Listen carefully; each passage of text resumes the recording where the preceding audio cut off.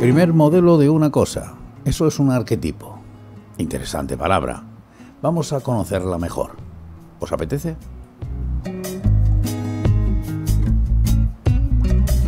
Definición de arquetipo de la web definición.d. Lo primero que hay que hacer en pro de poder conocer el significado del término arquetipo es descubrir su origen etimológico. En este caso hay que exponer que procede del griego. En concreto deriva de la palabra argetipos, que es fruto de la suma de dos partes claramente diferenciadas como son estas. El sustantivo arge, que puede traducirse como origen, el nombre tipos, que es equivalente a modelos. Un arquetipo es el primer modelo de alguna cosa. El concepto en este sentido puede vincularse a un prototipo, el molde original en que se produce por primera vez un objeto. Los arquetipos son patrones de los cuales derivan otros elementos o ideas. Puede tratarse de algo físico o simbólico, siempre capaces de generar algo más a partir de sí mismos. También puede considerarse al arquetipo como un ejemplo. A partir del arquetipo se moldean conductas y modos de pensar que se construyen por imitación o en búsqueda de semejanza. Para la filosofía, los arquetipos son pensamientos compartidos colectivamente y que resultan universales. El pensamiento individual y sus correspondientes acciones surgen en base a estos arquetipos que permiten ordenar y clasificar el mundo. En el terreno de la biología, los arquetipos se utilizaron desde el siglo XIX hasta comienzos del siglo XX, como tipos originarios e ideales de los cuales derivaban el resto de las especies pertenecientes a un mismo filo.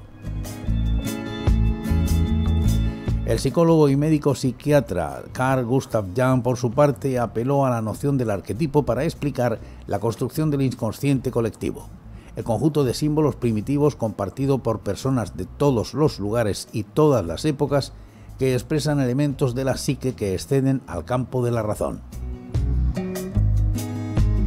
El arquetipo junguiano de este modo se compone de las fantasías y las representaciones oníricas que tienen vínculo con leyendas, mitos y conceptos religiosos y que configuran las experiencias de los individuos. La figura del héroe, por ejemplo, es un arquetipo mencionado por Jung. Según las propuestas planteadas por esa ilustre figura, nos encontramos con varias clases de arquetipos tales como estas. Anima, que viene a ser el arquetipo de lo femenino en la mente del hombre. Animus, que se trata de la vertiente masculina de la personalidad femenina. Padre, que es una figura de autoridad. De la misma manera, es la que se encarga de venir a dar a conocer ciertos consejos e informaciones acerca de cómo llevar adelante la vida. Madre, que es el arquetipo que se utiliza para hacer referencia a los ancestros, los orígenes, la maternidad. Sabio, que es el encargado de aportarle luz al héroe para que pueda alcanzar sus metas y continuar su camino. Y por fin, la persona, que viene a ser el arquetipo de la imagen que proyectamos hacia los demás y que por tanto estos tienen de nosotros. El trickster o el citado héroe son otros de los arquetipos que se encuentran dentro del planteamiento realizado por Carl Gustav Jung Muchos de esos los encontramos en obras literarias, películas, como sería el caso, por ejemplo, de Matrix.